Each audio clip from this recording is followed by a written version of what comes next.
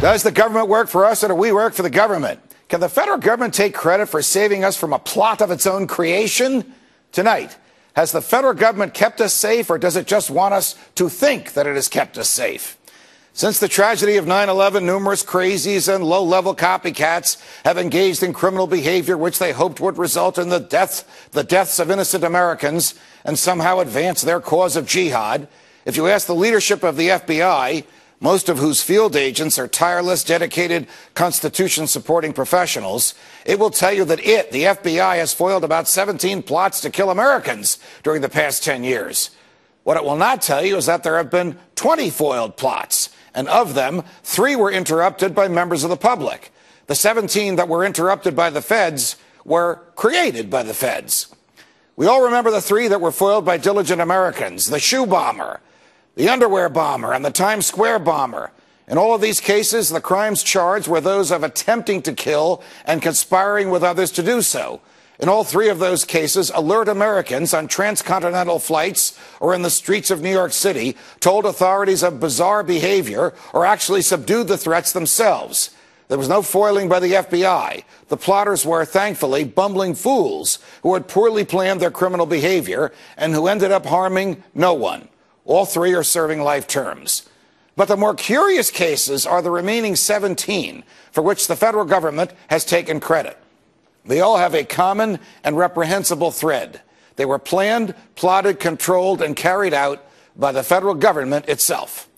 In all of these 17 cases, from the Fort Dix 6 to the Lackawanna 7 to the Portland parade bomber, the feds found young men of Muslim backgrounds, loners who were bitter at America. They befriended them, cajoled them, and persuaded them that they could change the world by killing Americans.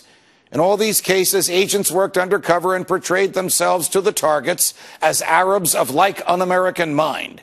In some cases, the federal agents used third parties to act as middlemen.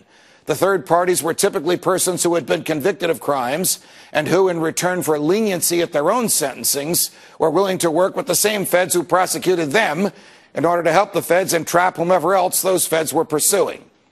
Thus, in all 17 of these cases, because of the command and control of federal agents, no one was ever in danger, no one was harmed, no bomb went off, and no property was damaged.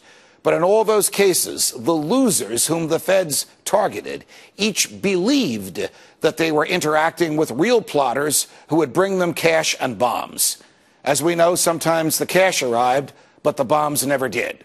The defendants were essentially charged and convicted for playing a game with federal agents. The most recent of those uh, government generated plots was revealed yesterday. It has a new twist because it allegedly involves agents of the intelligence apparatus of the government of Iran. It too was destined to go nowhere as the feds monitored and taped every move made by their target as he interacted with federal agents whom he stupidly believed to be drug dealers and co conspirators. Today, the feds themselves revealed that high officials of Iran's government knew nothing of this. Of course, the neocons have demanded bombs on Tehran, no matter what the government there knew. And this plot came to light the day before Attorney General Holder himself was subpoenaed by Congress in the Fast and Furious case. You get the picture. Are any of these plots criminal? Can the government just pick and choose whom to seduce and then lower the boom at the right time and arrest its would be Confederates? Is this a proper and efficient use of law enforcement resources? The answers to these questions are obvious and they are not good.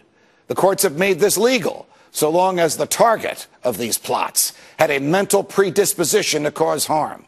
But none of this keeps us safe. All of this makes us less free, as any one of us can be entrapped. And we are fools if we praise the government for exposing a plot of its own creation and saving us from a danger that never existed. Can the government break the law in order to enforce it? Well, when it does, it becomes a law unto itself, and the rule of law dies as the feds decide whom to target and whom to trap. Think about it. Are we really safe in a false sense of security? Why do we pay the government to trick us into believing it is keeping us safe? When no one is harmed and the government controls the plot, aren't we just punishing someone for his thoughts? And in a free society, aren't free people free to think as they wish? This must be so, because if the government can punish our thoughts, there are no limits to its power. From New York, defending freedom. Every